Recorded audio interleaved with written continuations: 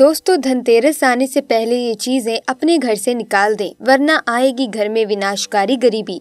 तो दोस्तों, आज की इस वीडियो में हम आपको बताएँगे उन चीज़ों के बारे में, लेकिन उससे पहले धनतेरस कब है, आइए जान लेते हैं। हिंदू पंचांग के अनुसार इस साल धनतेरस तेईस अक्टूबर 2022 को है। धनतेरस पर्व कार्तिक माह के कृष्ण पक्ष की त्रयोदशी तिथि के दिन मनाया जाता है। इस दिन से ही पाँच दिवसीय दीपावली का उत्सव भी शुरू हो जाता है। धनतेरस दो हज़ार बाईस शुभ मुहूर्त। कार्तिक माह कृष्ण पक्ष त्रयोदशी तिथि आरंभ 22 अक्टूबर 2022 शाम छह बजकर दो मिनट से कार्तिक माह कृष्ण पक्ष त्रयोदशी तिथि समाप्त 23 अक्टूबर 2022 शाम छह बजकर तीन मिनट तक धनवंतरी देव पूजन का शुभ मुहूर्त तेईस अक्टूबर 2022 पाँच बजकर चौवालीस मिनट से छह बजकर पाँच मिनट तक। शुभ मुहूर्त की कुल अवधि 21 मिनट, प्रदोष काल पाँच बजकर चौवालीस मिनट से आठ बजकर सोलह मिनट तक, वृषभ काल छह बजकर अट्ठावन मिनट से आठ बजकर चौवन मिनट तक। दोस्तों, धनतेरस के दिन का महत्व क्या है? दोस्तों, धन त्रयोदशी के दिन भगवान धनवंतरी का जन्म हुआ था। भगवान धनवंतरी देवताओं के वेद हैं। इस दिन भगवान धनवंतरी की पूजा करके लोग अच्छे स्वास्थ्य का वरदान पा सकते हैं। इस दिन भगवान धनवंतरी समुद्र से कलश लेकर प्रकट हुए थे। इसीलिए इस दिन को धनवंतरी जयंती के नाम से भी जाना जाता है।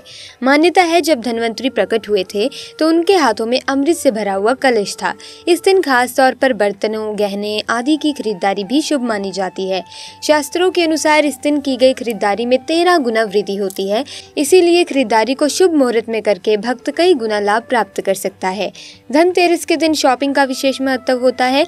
धनतेरस के दिन भगवान गणेश और माता लक्ष्मी की चांदी की प्रतिमा को घर लाना शुभ माना जाता है। इससे घर, नौकरी और व्यापार में सफलता मिलती है। धनतेरस के दिन यम देवता की भी पूजा का विधान है। इस दिन यम देवता को दीपदान किया जाता है। इस दिन यम देव की पूजा करने से घर में असम समय मृत्यु का भय खत्म हो जाता है। दोस्तों, धनतेरस की पूजा विधि क्या है?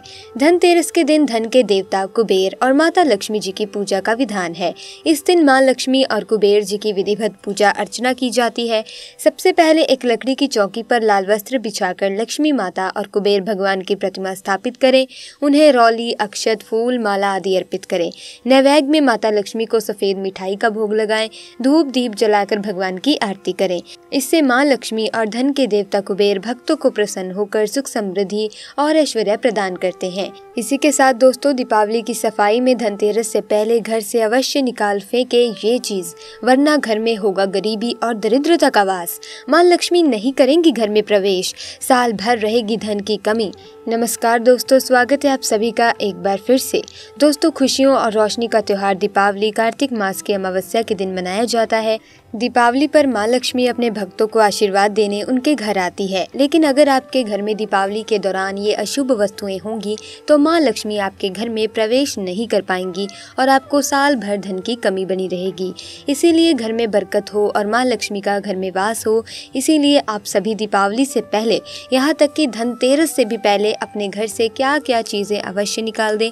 आइए जानते हैं, जिससे आपके घर में माँ लक्ष्मी का वास हो और साल भर धन की कमी ना हो। दोस्तों अपने घर से दरिद्रता और गरीबी को दूर करने के लिए, सुख समृद्धि की कामना के लिए, माँ लक्ष्मी को अपने घर में आमंत्रित करने के लिए, हम सभी धनतेरस से पहले ही अपने घर की सफ़ाई कर लेते हैं। लेकिन कई बार ऐसा होता है कि कुछ पुरानी चीज़ों को हम घर से निकालने की जगह उन्हें दोबारा घर में ही संभाल कर रख लेते हैं, जिससे घर में नकारात्मक ऊर्जा का संचार होता है। और जिस घर में नकारात्मक ऊर्जा होती है, उस घर में लड़ाई झगड़े होते हैं, गरीबी आती है, आलस रहता है, बीमारी रहती है, और ऐसे घर में माँ लक्ष्मी जी प्रवेश नहीं करती। दोस्तों, अगर आप भी चाहते हैं कि आपके घर में माँ लक्ष्मी का वास हो, घर से गरीबी और दरिद्रता दूर हो जाए, घर में कभी भी पैसों की कमी न रहे तो आप धनतेरस से पहले इन चीज़ों को अपने घर से अवश्य ही बाहर निकाल दें। तो आइए दोस्तों, जानते हैं कि क्या है वे चीज़। दोस्तों, सबसे पहली चीज़ है बेकार घड़ी। कई बार क्या होता है, हम सभी घड़ी खरीदते हैं और घड़ी खराब होने के बावजूद भी उसकी सुंदरता की वजह से उसे अपने घर में ही रख लेते हैं। लेकिन अगर आप ही ऐसा करते हैं तो ऐसा भूल भी ना करें। आपके घर में कोई बंद घड़ी हो, चाहे वो दीवार की घड़ी हो या हाथ की घड़ी हो, उसे या तो धनतेरस से पहले ठीक करा लें या फिर उसे अपने घर से बाहर निकाल कर फेंक दें। क्योंकि घड़ी आपकी प्रगति का प्रतीक होती है। ऐसे में बंद घड़ी निश्चित रूप से आपकी उन्नति में बाधक है। इसीलिए घर में बरकत और उन्नति के लिए आप इस दीपावली से पहले ही बंद घड़ी को अपने घर से निकाल फेंकें। बल्कि दीपावली से पहले तो क्या, अब धनतेरस से पहले भी बंद पड़ी घड़ी को अपने घर से बाहर निकाल दें। दोस्तों, दूसरी चीज़ है जूते, चप्पल। हम सभी कई सारे जूते, चप्पल खरीदते हैं और कई जूते, चप्पल तो ऐसे होते हैं जो फट जाते हैं, पुराने हो जाते हैं, लेकिन फिर भी हम उनको अपने घर से बाहर नहीं फेंक पाते और उन्हें अपने घर में ही एक कोने में कबाड़ की तरह संभाल कर रख लेते हैं। अगर आपके घर में भी ऐसे पुराने जूते, चप्पल हैं तो आप उन्हें दीपावली और धनतेरस के त्यौहार से पहले ही सफ़ाई करते समय अपने घर से बाहर निकालना ना भूलें। जिन जूते चप्पल का प्रयोग ही नहीं करते, वो फटे पुराने जूते चप्पल घर से नकारात्मक ऊर्जा को प्रभावित करते हैं और दुर्भाग्य को बुलावा देते हैं। दोस्तों, तीसरी चीज़ है बर्तन। हमारे घर में मंदिर के बाद सबसे प्रमुख स्थान होता है रसोई का। रसोई को हमेशा साफ़ सुथरा रखना चाहिए। रसोई में कभी भी कबाड़ इकट्ठा नहीं करना चाहिए। खासकर रसोई में कभी भी टूटे हुए बर्तन नहीं रखने चाहिए। टूट टूटे हुए बर्तनों में कभी भी भोजन भी नहीं करना चाहिए। बर्तन टूट गए हों या फिर चटक गए हों, अगर आपके घर में ऐसे बर्तन हैं तो आप इन्हें दीपावली से पहले ही घर से बाहर निकाल कर फेंक दें, क्योंकि टूटे हुए बर्तन, चटके हुए बर्तन घर में लड़ाई झगड़े के कारण बनते हैं, और जिस घर में लड़ाई झगड़ा होता है, वहाँ माँ लक्ष्मी प्रवेश नहीं करती।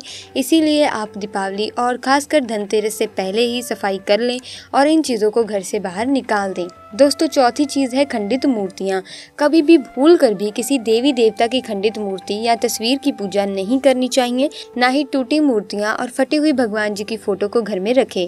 शास्त्रों में बताया गया है कि भगवान जी की मूर्ति या तस्वीर खंडित हो जाती है, उसमें से भगवान जी का रूप निकल जाता है और वे केवल मूर्ति रह जाती है।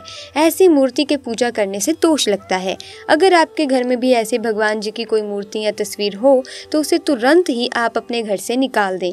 अधिक अधिकतर लोग दीपावली पर लक्ष्मी गणेश जी की मिट्टी से नई मूर्तियाँ लेकर आते हैं, लेकिन जो पुरानी मूर्तियाँ हैं, उन्हें विसर्जित करने के स्थान पर अपने घर पर ही संभाल कर रख लेते हैं। अगर आपने भी ऐसा किया है या आपने भी ऐसा कर रखा है तो भगवान जी के उन सभी मूर्तियों को आप इस दीपावली से पहले, इस धनतेरस से पहले आप सफ़ाई करने के दौरान अपने घर से बाहर निकाल दें। आप भगवान के इन तस्वीरों या मूर्तियों को या तो शुद्ध बहते हुए जल में विसर्जित कराएँ या फिर किसी पवित्र स्थान पर रख दें।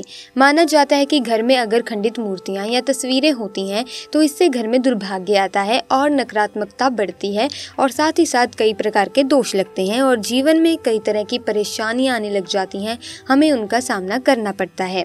साथ ही धनतेरस और दीपावली की पूजा में मंदिर की अच्छे से सफ़ाई करके ही पूजा करें, तभी देवी लक्ष्मी की असीम कृपा आपको मिल पाएगी। दोस्तों, पांचवी चीज़ है खराब इलेक्ट्रॉनिक्स का सामान।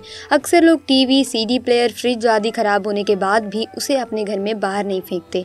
वो उसे घर के किसी कोने में रख देते हैं। लेकिन दोस्तों, वास्तु के अनुसार इसे अशुभ माना जाता है। इससे परिवार के सदस्यों की सेहत पर बुरा असर होता है। साथ ही जीवन में तरक्की के रास्तों में भी रुकावटों का सामना करना पड़ता है। आपके घर में भी कोई भी छोटा, बड़ा, खराब इलेक्ट्रॉनिक सामान हो तो या तो उसे दीपावली से पहले आप सही करा लें, या फिर उसे घर से निकाल फेंकें। दोस्तों, छठी चीज़ है टूटा हुआ फर्नीचर। अगर आपके घर में कोई फर्नीचर टूट गया है तो उसकी दीपावली से पहले मरम्मत करा लें। अगर ठीक नहीं हो सकते तो उसे घर से बाहर निकाल दें।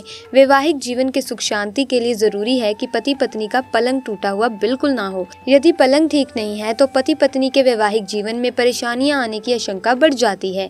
इसीलिए इस धनतेरस से पहले आप अपने घर के फर्नीचर को ठीक करा लें। यदि ठीक नहीं हो सकता तो उसे अवश्य ही घर से निकाल कर फेंक दें। नहीं तो पारिवारिक जीवन में कलह और अशांति बनी रहती है, और जहाँ अशांति और कलह होता है, वहाँ माँ लक्ष्मी का वास नहीं होता। तो दोस्तों, इस दीपावली, इस धनतेरस से पहले आपको इन चीज़ों का ध्यान रखना है, इन वस्तुओं को आपको घर से बाहर फेंक देना है। तो दोस्तों, आज की वीडियो में बस इतनी ही जानकारी, मिलेंगे अन्य वीडियो में नई जानकारी के साथ। अगर वीडियो अच्छी लगी, वीडियो को एक लाइक कर दीजिए, शेयर कीजिए और साथ ही हमारे चैनल को सब्सक्राइब कीजिए। आपका बहुत बहुत धन्यवाद।